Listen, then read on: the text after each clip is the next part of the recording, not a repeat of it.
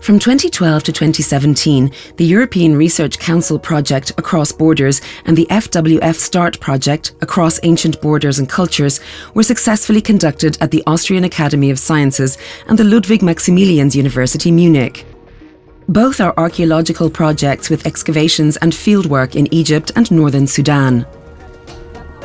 Remains of settlements from the second millennium BCE were investigated in diverse cultural settings situated across ancient borders and cultures.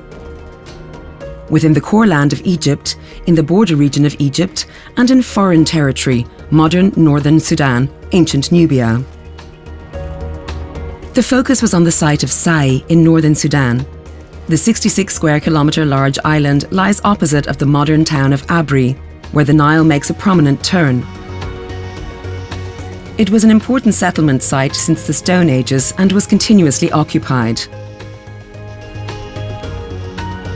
Within the region of Upper Nubia, Sai can be regarded as one of the most important examples for Egyptian settlement policy during the New Kingdom, especially because of its Egyptian temple town and adjacent pyramid cemeteries. The town was founded around 1530 BCE and was contemporaneously settled like the other New Kingdom sites located in Egypt, Abydos, and Elephantine, which were also investigated within the project. Prior to the Across Borders project, no attempt had been made to directly compare these sites and to explain the large correspondence of their archaeological remains, despite their diverse environmental and cultural preconditions. This is in particular of interest since textual sources tell us that some persons of the Egyptian administration were living both at Sai and at Elephantine for a certain period of time.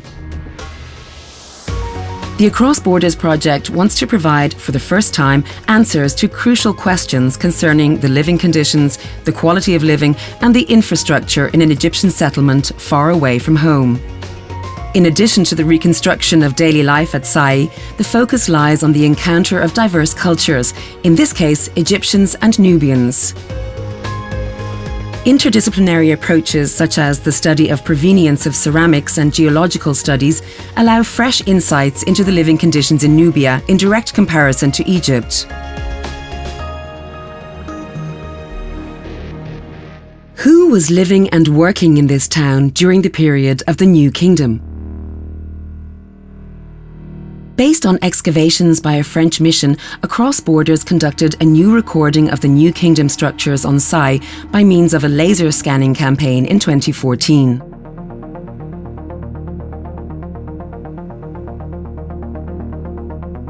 Ingrid Adenstedt, architect and collaborator of the FWF project, proposed a new 3D reconstruction of the area based on the laser scan.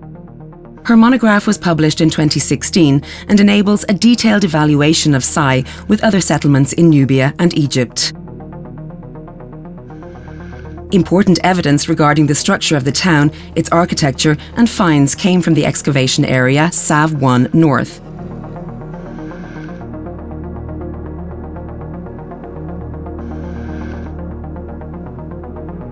This sector is situated along the northern town enclosure. It was excavated between 2008 and 2012 by the Sai Island Archaeological Mission of the University Lille 3. The detailed assessment of its architecture and finds was undertaken within the framework of Across Borders.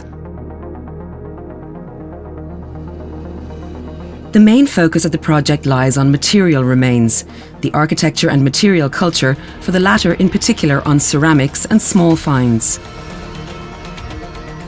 One of the results was the dating of the heyday of SAV 1 North to the mid to late 18th dynasty. In addition to cooking pots, especially Egyptian pottery types like spinning bowls, fish dishes, and fire dogs allow some insights into the daily life of the ancient town. It is striking that the fire dogs are very numerous, which contrasts to the finds in Egypt. Across Borders has documented almost 200 pieces, and this large number raises several questions. Was there a fire dog deposit on Sai?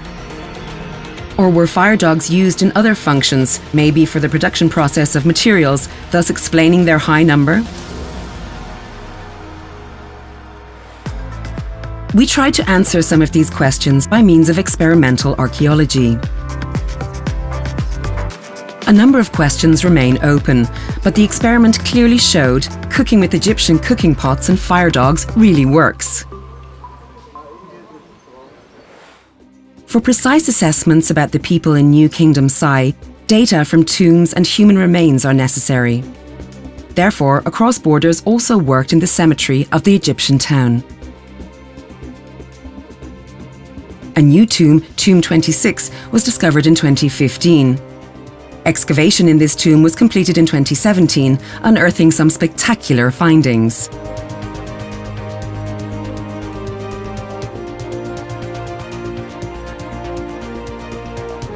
Thanks to inscribed finds, some of the persons in the tomb can be identified.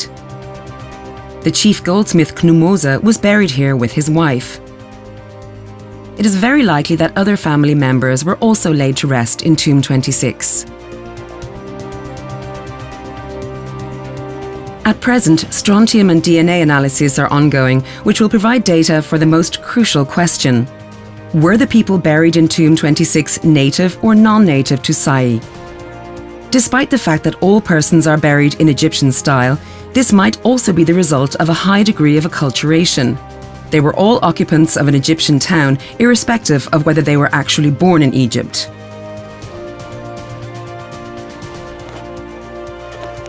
One aspect became very clear thanks to Across Borders research. The microcosm of Sai was a dynamic one, allowing no strict divisions into Egyptian and Nubian, but rather illustrating how complex urban cohabitation was already in ancient times. Personal decisions played an important role, but are only rarely traceable in the archaeological record.